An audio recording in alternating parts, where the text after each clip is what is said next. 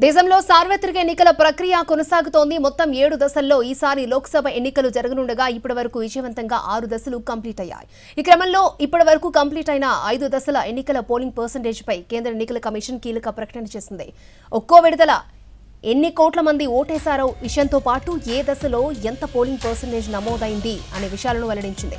మొదటి విడతలో అరవై ఆరు పాయింట్ నాలుగు ఒక్క శాతం రెండో విడతలో అరవై ఆరు పాయింట్ ఏడు ఒక్క శాతం మూడో విడతలో అరవై ఐదు పాయింట్ ఆరు ఎనిమిది శాతం నాలుగో విడతలో అరవై తొమ్మిది పాయింట్ ఒకటి ఆరు శాతం ఐదో విడతలో అరవై రెండు పాయింట్ రెండు సున్నా శాతం పోలింగ్ పర్సంటేజ్ నమోదైనట్లుగా అధికారికంగా ఈసీ ప్రకటించింది.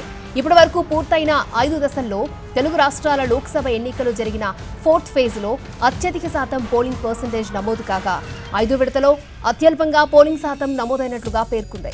ఇక ఇవాళ ఆరో దశ లోక్సభ ఎన్నికల పోలింగ్ జరగ్గా చివరి విడత పోలింగ్ జూన్ ఒకటిన జరగనుంది. జూన్ నాలుగున ఫలితాలు వెలువడనున్నాయి.